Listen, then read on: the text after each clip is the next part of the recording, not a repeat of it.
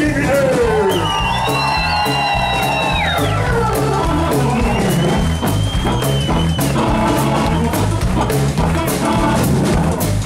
Ja Timonen kioskin pitäjä, Ruletti Vero, loistava Sorivan tähti, Uaku Lahtinen!